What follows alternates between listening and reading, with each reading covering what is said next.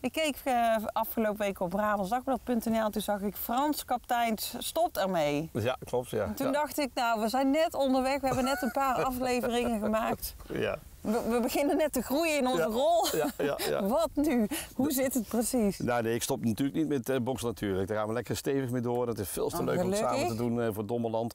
Nee, ik ben eh, gestopt met, eh, ja, tenminste althans ik heb aangegeven, daar stoppen bij Natuurmonumenten als professional. Mhm. En dat heb ik expres gedaan omdat we zitten in een, in een kleine reorganisatie waarin ook mensen worden gevraagd om plaats te maken. Nou, ik wil wel graag plaatsmaker zijn voor jonge mensen. Nou, dan kijk je natuurlijk wat is je financiële positie. Nou, die is ook goed, verder is niks aan de hand.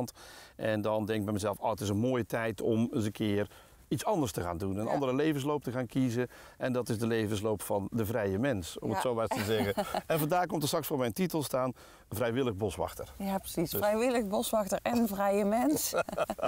maar ze laten het niet ongemerkt voorbij gaan. Want ik zag ook in het persbericht dat er een, een, eh, een afscheid eh, wordt georganiseerd voor Ja, jou. ja.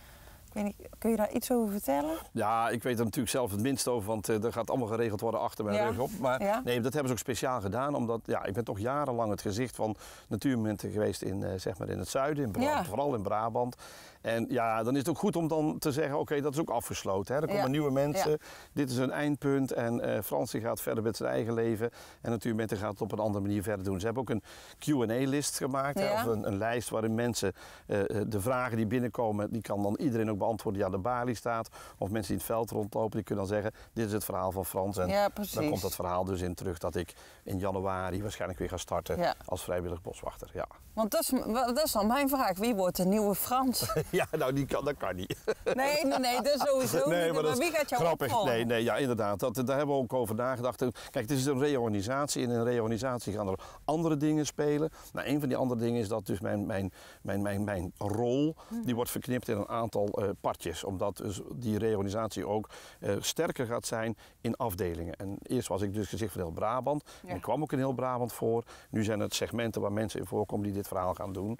En ja, er zullen ook natuurlijk nog wat andere dingen veranderen. Want dat heb je altijd met de reorganisatie. Maar ik Ja. denk dat het wel goed is. Ja. Ja. Ja. Ja. ik denk dat het heel goed is. Nou heb jij, eh, of nou krijg jij een afscheidscadeau, daar heb je niet om gevraagd, maar dat krijg jij. Ja. Maar dat is er nog niet zo 1, 2, 3. Nee, nee, en daar nee. Kunnen, eh, kan iedereen een steentje aan bijdragen. Ja, absoluut. Ja.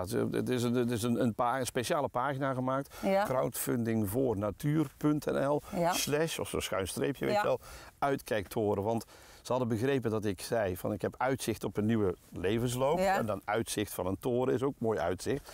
En dan komt op het mooiste plekje staan in, in, in Bokstel. Dat is op het Banesveld, waar nu een oude toren staat die ingestort is. En dan gaan we een mooie nieuwe toren neerzetten als de gelden allemaal binnen zijn. Ja, precies. Ja.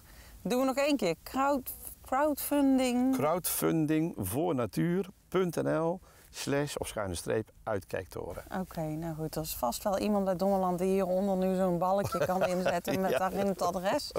En dan, eh degenen die willen kunnen dan een donatie geven om jou een eh, prachtige uitkijktoren te Ja, schenken. En ze kunnen dan zelf ook gaan staan. Hè? En daarnaast, als ze iets geven, dan staan er een heleboel tegenprestaties. Dus ik, ik heb waarschijnlijk Oh. in 2017, want dan wordt hij gebouwd, wel heel erg druk. Oh, Oké, oké, mooi. Nou, fijn. Dan weten we nu in ieder geval precies hoe het zit. Oké.